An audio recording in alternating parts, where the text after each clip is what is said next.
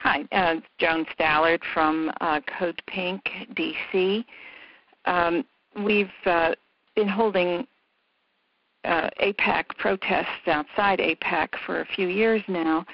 The purpose of doing this is uh, to modify the voice of AIPAC to the extent that we're able. AIPAC is a hugely powerful lobbying organization.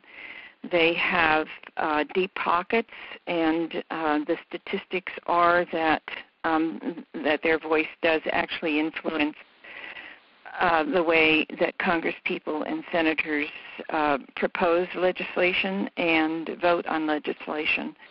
Their AIPAC has a huge annual meeting in D.C., invites Congress people and administrative individuals, and they come.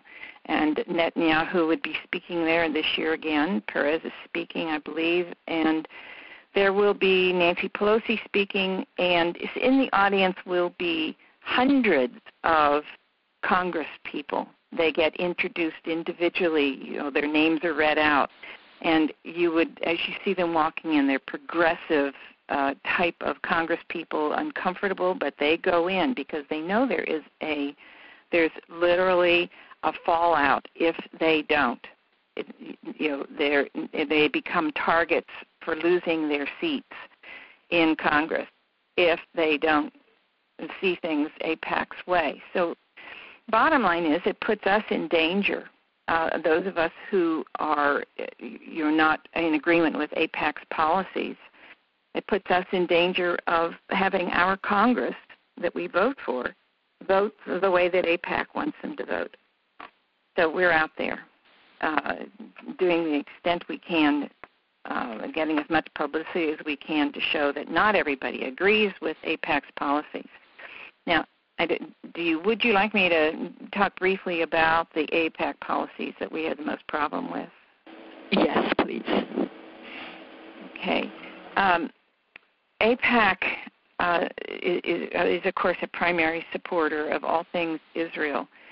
But AIPAC, uh, a whole lot of Israeli people um, who are primarily uh, Jewish at this point, a whole lot of them do not approve of the Netanyahu policies, which are very saber rattling, uh, huge investment, a lot of the money coming from American uh, Jewish element uh, to support the settlements, which are taking over Palestinian land and putting walls around Palestinian land and building roads through Palestinian land to get to the settlements, and those roads are not uh, accessed and not allowed to be accessed by anybody but those settlers and people going to and from the settlers.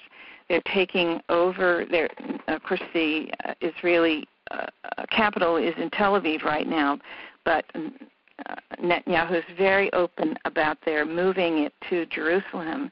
Jerusalem, which is a city of religious significance for all religions, the people who live in Jerusalem of Arab uh, background are are really strongly discriminated against. And I don't mean that all Israeli citizens are in approval of this, but uh, because there are they are on the streets and they are protesting, but it is not anywhere near enough to change policy, and there aren't people standing up to be elected to Israeli politics, evidently, that that are appealing enough to have them overturn this policy.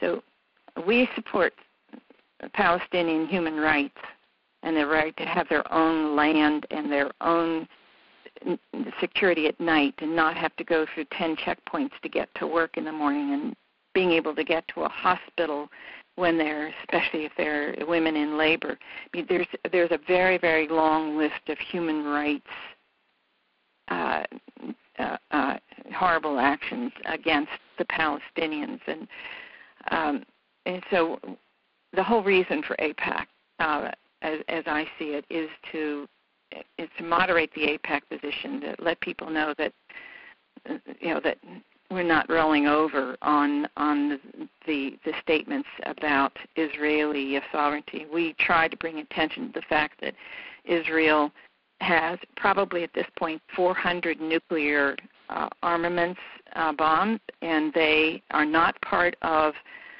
uh, the organization that that uh, the Middle East organization that controls nuclear power in the Middle East. They have not joined.